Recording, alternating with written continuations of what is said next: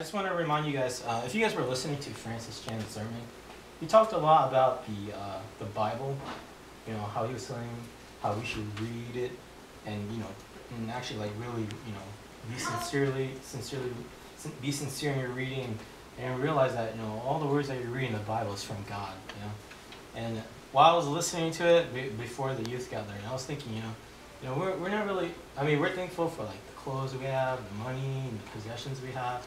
You know, we're thankful for the friends and everything. But sometimes we forget to, you know, thank God for um, for His grace, you know, for His forgiveness, uh, for His words, you know, for His Son. Um, I know sometimes that gets overlooked a lot of times.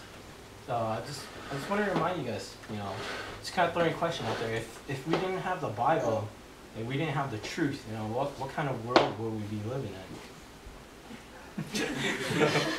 and uh, I just want you guys, I just want you guys when when Thanksgiving comes around, you know, to to look back and reflect on uh, your lives, especially your spiritual lives, and see how far you've you know grown, and and every time you you know you've been you bookmark something like baptism or you know maybe that one night when you you know repented, whatever you know that I, I want you guys to uh, just thank God just for uh, thank God for um, for um, being there with you for you guys, um, for growing you guys, for you know allowing the Holy Spirit to um, to dwell in you guys, and especially for the Word and, and especially uh, for His grace and His love. Because without it, uh, we'd be uh, we'd, be condemned, eternally condemned.